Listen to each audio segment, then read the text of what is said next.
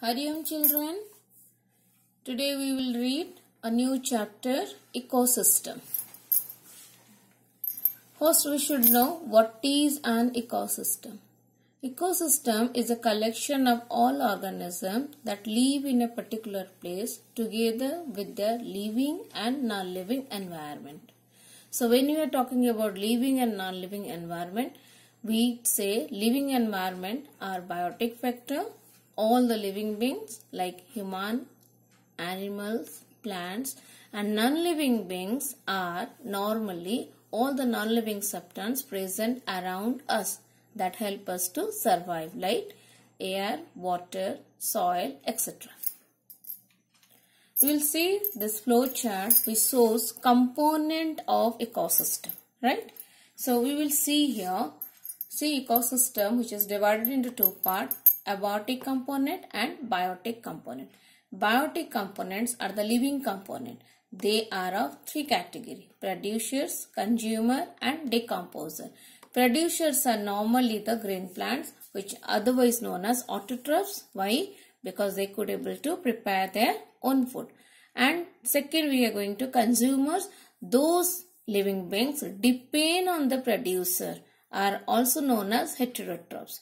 Then we are coming to decomposer which helps this producer and consumer to decompose right? So they are also known as saprophytes or saprotrophic nutrition substance such as your uh, you say the mushrooms which grow on the saprophyte right? So these all fungi the group of fungi are under the category of decomposer okay? Producers are only single because they have the capacity to produce their own substance right? But whereas consumer depend on producers so they are of four category. Primary consumer secondary consumer tertiary consumer and quaternary consumer. We will go to the abiotic factor. There are two type. One is climatic factor and edaphic factor. Climatic factor are normally rain light wind or you can say the uh, temperature in light sunlight all right? And abiotic factor are all environmental factor such as your soil the pH value of soil as well as rainwater mineral content of that area and topography of that area. You will see how this all component is associated in an ecosystem right? We are seeing the producers those are Uh, trapping the solar energy and produce the food and release it energy. It is taken by the consumers and the consumer takes certain part of the energy and utilize in their life to exist. They also release few energy and after that when they die the decomposer helps them to decompose such as your bacteria and fungi or fungus they helps to decompose and after decomposition the heat energy again return back to the environment. And again it mixes to the abiotic factor right? All the gases present there soil factor uh, water factor whatever it is there it is returned back to the environment. That means the energy released from the producer again it is returned back to environment and finally again it is taken by the producers. We will see the consumers these are the normal category general category of consumer herbivores all the plant eaters, right? Carnivores, those depend on the other animal like the lion, tiger. Omnivores such as you and me, they are the plants and animal both category like wolf and bear, right? Wolf is generally carnivores. And detrivores, those that depend on the dead matters, they eat dead matters. And decomposer, which are saprophytic in nature, that they break down the organic matter, right? So these all are your fungi, earthworm, these are the uh, decomposers. You will see that how this uh, producers and consumers which we have been learned uh, primary consumer, secondary consumer and tertiary consumer are related to each other. So they are related to each other in the form of a food chain, right?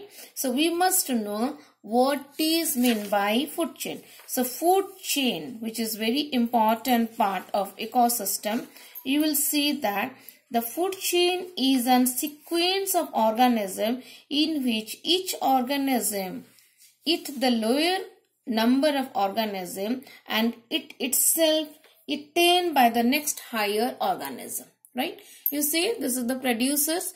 Every living organism begin with producer. That means a chain, food chain begin with producer. It's a important thing. Why the food chain starts or begin with producer because the producers are autotrophs in nature and they can utilize the solar energy in 100%. So the chain start with producer.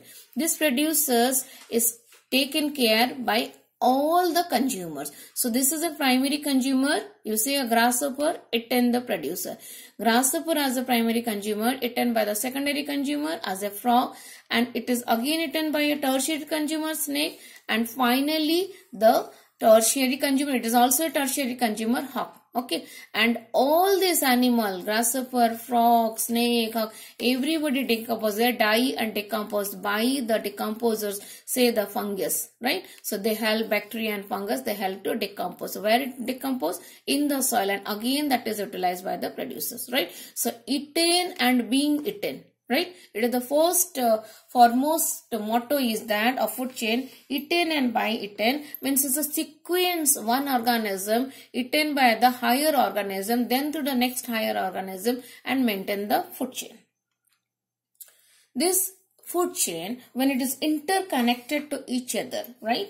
The pattern of several interconnecting food chain are called as food web, right? Here you will find the consumers are present, tertiary consumer. We are getting here the tertiary consumer, secondary, primary and final. This is the beginning your producers, right? So the producer you say these are the primary consumers, your snail, fish, these are the primary consumer. These mouse or rat, you can say frog or big fishes, secondary consumer where the snake and all these birds they are the tertiary consumer it is also the hawk eagle also considered as a tertiary consumer so they are interconnected to each other. Each and every part is connected to each other. Means if a animal could not able to get one animal they can depend on the other animal to survive. For the survival it is very much necessary that every food chain is connected to each other and forming a food web so that each and every animal could able to survive in the environment. So to know exactly how this environment exists, it is represented in the form of a pyramid, right? So the pyramid is a representation of the entire environment in a pyramidal structure. See the last level of the pyramid which is the uh, base level. We will find the producer because producer which are capable to trap the solar energy and it is could able to prepare their own food. Depend on this producers, herbivores, or the primary consumer then your carnivores and omnivores both are secondary consumer and finally the tertiary consumer. And all when they die they decompose right? And which is again returned back to the environment in the form of the fertilizers right? And taken by the plants. So you see this is the pyramid which is very important how the pyramid of energy is maintained and what is the rate of the decreasing of the energy. We will see that in this part we are seeing that one trophic level feed the other trophic level in the ecosystem and this diagram show how energy transfer from one trophic level to another trophic level. So when you will talk about the trophic level, these are the energy level. Producer is the trophic level 1, whereas the primary consumer trophic level 2, secondary consumer trophic level 3 and tertiary consumer trophic level 4, right? And what happened here? The energy transferred, here it is given an example of 10,000 kilocalorie of energy is produced produced by the producer which when it is taken by the primary consumer 10% of energy is conserved here right? And it is only 1000 kilocalorie is taken by the primary consumer. Again 10% is conserved taken only 100 kilocalorie by secondary consumer. Again 10% conserved and finally the 10 kilocalorie is taken by the tertiary consumer. So it is also known as a 10% law of nature right so nature also have a 10% that's what children we do in our day to day life also we read our uh, course and syllabus and we conserve something, we memorize, right? So that is the law. We memorize, we store it and which utilize in the next part, right? So this is what we learn from the nature, how the energy can be sun taken from the solar energy and how it is transferred from every level to maintain the balance in the system.